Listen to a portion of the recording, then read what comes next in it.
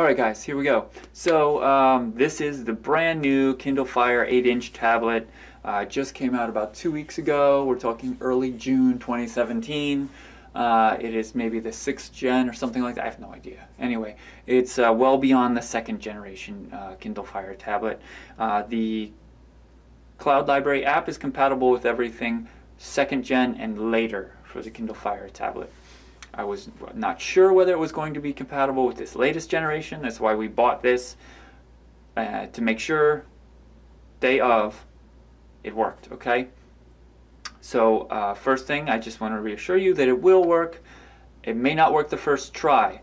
You may have to restart your device afterwards. You may have to uh, download it two or three times, and I apologize for that. It's just that the uh, the Kindle Fire is not really designed to have outside apps installed upon it, so they make you jump through some hoops to make it work, and also it just uh, you know they don't support it after they after you do so. So here you go.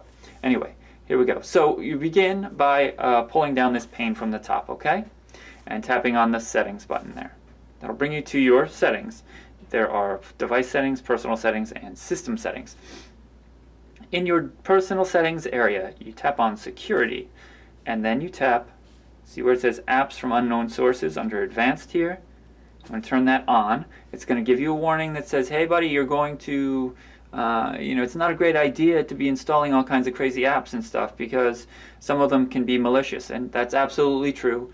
I assure you that the Cloud Library app is not malicious but um, there is we, we can actually turn that back on later just to make sure uh, turn back off rather later just to make sure that you don't accidentally download something else that is potentially malicious okay? So now we're done with our settings. That's all we have to do.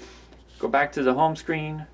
So then we want to go to our silk browser here and we're going to type in to the address bar www.yourcloudlibrary.com I've obviously I've been there earlier so uh, instead of you watching me uh, type, I'm just going to tap on that. It's just Y-O-U-C-L-O-U-D-L-I-B-R-A-R-Y dot com and it'll bring you here and right away you see the Kindle Fire available for Kindle Fire. You're going to tap on that link. It's going to give you a full explanation of how to install this on a Kindle Fire uh, but I'm telling you all of that right now anyway so you can basically ignore that and what you need to do is just tap on this little button that says download third gen Kindle Fire app. If you have a second gen Kindle Fire, you're going to tap on download second gen Kindle Fire app. If you have anything beyond second gen, so third through whatever, you can tap on download third gen Kindle Fire app. You know, wait, wait a second, that's going to pop up. You're going to tap view. I like to tap view anyway, and then it will watch it download. So you can see that little orange progress bar moving along and in time it will be downloaded. Okay so then you're going to tap right on that file just go bam. And then you're going to tap on install down here. And then you're going to wait. Again we've got a, an orange progress bar. I don't know why I'm going out of focus. I put you into manual focus mode. Please stop doing that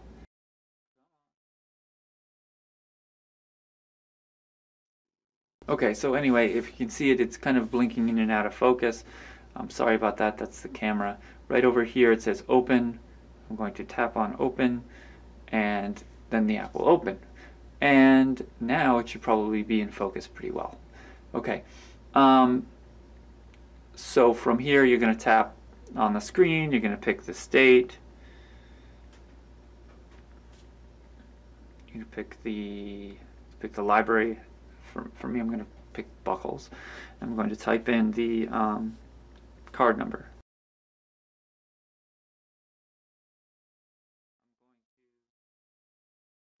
Tap login.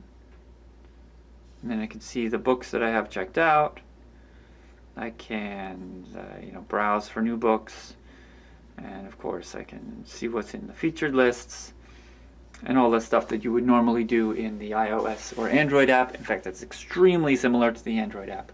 Uh, so if you're used to that, this is really, really pretty much the same thing. Okay. Um, now, since we're done installing it, first of all, let's go back to the home screen and let's find it on our home screen. It's going to be way down at the bottom. tap and hold it, drag it all the way to the top because you know that the Cloud Library app is the most important thing on your tablet. So put it right at the top. Only sort of joking about that. Um, and then we're going to make those setting changes again so that you don't accidentally uh, download and install some, some, some garbage. So just uh, slide down from the top again. Come on there. All right, tap settings, tap security, tap the little switch ne next to apps from unknown sources, and turn it back off. So now you're not going to have to worry about anything else um, mysteriously ending up on your computer or on your uh, your Kindle Fire that's going to maybe cause you some issues in the future. Okay, I hope that was very helpful, and uh, that is all. Uh, please send your questions to downloadable at bccls.org. And, um, well, actually, before we go on, say it didn't work for, for some reason. Uh, I would say, you know, keep your settings set at, uh, keep, keep this on for a few few more tries. You might restart the uh, Kindle Fire. That's what I would do first. Restart it. If at, at any point within the install process or the download process or anything this fails, restart the Kindle Fire. Make sure that your settings are right so that you can install apps from unknown sources. And then go back into the Silk browser, find the, the download, tap the button to download it again, when it gets fully downloaded, tap on it, tap install, and then uh, hopefully that works, goes through, you know, everything works there. Uh, just keep doing it. Uh, if you have to do it two, three, four times, that may just be the way it is. Um, I would also, you know, when, when you get around to it, uh, go into the downloads folder in your uh, in the Silk browser and you know clean out all this junk that you've just uh, you know, downloaded. And that's a good idea to do anyway, even if it just works the first time. But just trust me on this, it's really going to work eventually. It's not going to take you an entire day. It's not going to take you an hour, most likely. As long as you have pretty fast Wi-Fi, you can do this in, usually you can do this in 30 minutes. If you really have a tough time, you know, 45. Okay? Um, uh, thanks for watching and uh, send me your questions.